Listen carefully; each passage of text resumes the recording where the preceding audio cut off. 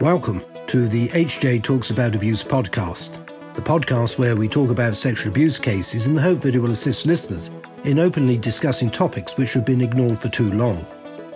This podcast is brought to you by the abuse team at Hugh James. We are lawyers, so we tend to speak about the legal aspects of abuse cases, but we aren't too shy to speak up about the broader issues faced by survivors of sexual abuse too. We hope that you find it interesting, but more than that, if you are a survivor of sexual abuse, we hope that you find our discussion empowering. Hello, podcast listeners. My name is Alan Collins. I'm the partner and head of the abuse team at Hugh James, and I'm joined today by my colleague, Danny Vincent. Hi, Danny. Hi, Alan. And listeners, we're in for an interesting conversation about Love Island. Now, I'm sure most of you are avid followers of Love Island, so we thought, well, let's have a topical podcast. This is Danny's suggestion, was it not, Danny? It was uh, indeed. Yeah, because you want to talk in this podcast about quote unquote inappropriate massages. Yeah, that's correct. So, the reason that this is going to be um, the feature of our podcast today is a former Love Island star, Miss Phillips, she has come forward on her social media platforms to discuss incidents where, or at least at one incident where she was having a massage and felt that, that it was inappropriate. And so she's come forward to her followers and, and her fans to explain what's happened to her, I guess, to raise awareness to other women, men, or anyone. Emphasise that this is an allegation. Yeah yeah, this is an allegation, and she's alleging that she was having this massage with her masseur or masseuse, whoever she'd had massages from before, and on this occasion, she is saying that the massage was inappropriate. The idea being that she had some cellulite, but in a particular part of her body, on a, in a particular part of her anatomy, but needed to be massaged. Oh. Yeah, yeah, and she agreed to that, but she is saying or allegedly saying that it all went a bit too far and was a bit somewhat inappropriate. Yeah. Yeah. So, I mean, don't know about you, Alan, if you have any massages, but you know, yeah, I've had many massages over the years, and I think it is a bit of an uncomfortable situation. You know, you, you're removing your clothing, you're sat in a room with somebody else on on your own, and you trust. As with many professions, you're going to a professional to have a service you know, you're in very little clothing and it's a difficult one because you need to feel comfortable. But again, it is that thing that you are putting your trust in someone to do a service professionally. Now, obviously, in this situation, she comments that her that her underwear was removed, like her bottom half underwear was removed, and she felt that that was inappropriate for, for what was happening. Now, I think the reason that I wanted to discuss this in the podcast, especially with some of our listeners, is that I think sometimes in our job, we have people that come forward that things happen to them and they don't speak up because they are putting their trust in that professional. And that's exactly that what, what she said is that she felt uncomfortable in the situation but didn't raise it because she had trust in someone. It's difficult because you know you've got questions of consent haven't you? You know, what is being consented to? What hasn't been consented to? You know, was there informed consent?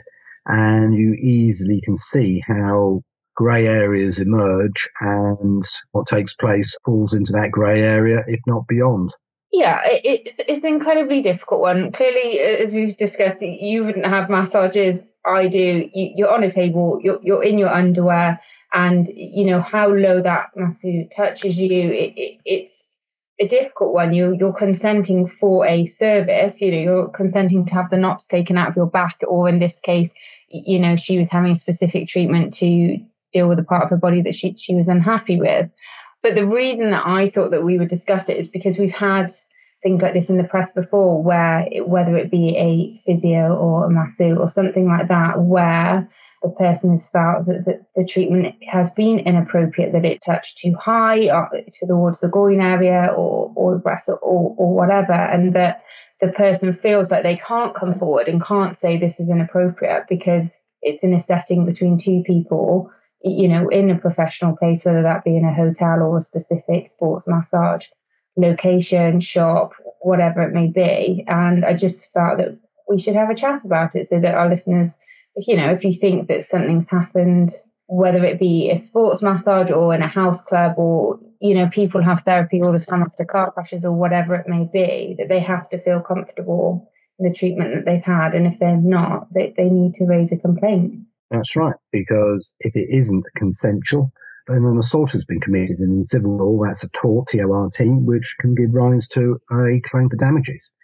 And of course, we've seen this business of massages and inappropriate massages, massages appearing in the football coach cases where lots of youngsters complained that they were subjected to a so-called sports massage, but quite clearly it was not a sports massage, which is what took place, having to do with sport at all, though the context was, of course, sport. Sport was just used as an excuse to try and leg- legitimize something that was clearly wrong. Uh, you know, illegal crimes were being committed because these youngsters were being touched on parts of their body that didn't need to be touched and had nothing to do with playing football or, or whatever. Yeah, it's again, it's mirroring the, the same things is that one, it's an individual going in and not knowing quite what the treatment in, entails and, and whether it is appropriate. And especially with those types of cases you've just mentioned, it's only years later that, you know, there's a realization that actually being touched there or, you know, having to be asked for that piece of clothing to be removed was completely inappropriate. But all of these people will have trusted that that person was a professional, had the qualifications, was in a professional setting, knew what they were doing, and that you know we, we do blindly trust authority to an extent, don't we? We're going sure. for service. Yeah. Well, the lesson or the, you know, or the advice or the, the, the position of all um, professionals with their physiotherapists, sport therapists, coaches, masseurs, whatever, is that you don't touch anybody anywhere unless you've got their informed permission. So you, the boundaries are, are very clear so that both parties know exactly what's going to happen. Because if you don't set those boundaries, then you run the risk of a complaint being yeah. made. And I think as an individual, if you feel incom- uncomfortable in any way, you know, you don't have to blindly think because that person's a professional that, that, that that's okay. You know, if you feel uncomfortable about anything, you know, you, you have to raise that concern. And I don't think anyone should ever be embarrassed for hmm. that. That's right. That's right. Exactly. And of course, going in the opposite direction, we've had cases where the person at the receiving end of something going wrong is the person providing the service. So we've had cases, have we not, where we've acted for escorts who provide a sexual service and they have tried to set boundaries with their clients, customers, and things have gone terribly wrong. And they've ended up being the victims of serious assaults, sexual assaults themselves. And the so-called client customer has been successfully prosecuted for serious sexual offences and gone to prison. So we've seen those sorts of cases. A- again, it all comes down to setting the boundaries and understanding what is being consented to and what isn't. Very, very difficult. And of course, there's been notorious cases involving, sounds sexist saying this, but it has been, you know, we have to stick with the facts where there's been young women have gone back to hotels with footballers and rugby players and so on. And quite often there's been alcohol consumed. So um, maybe um, brains are not working as they should be. And clearly sexual activity has taken place and the young person has complained rightly or wrongly, but she has been sexually assaulted, if not raped. And of course, the, you know, the case ends up going to court and the jury has the very difficult task of trying to unravel what did the, the parties agree to? What exactly was the deal? And of course, it becomes, from a jury's perspective, very difficult, if not in, impossible, to unravel who agreed to what and so on. Again, it all comes down to informed consent and setting the boundaries.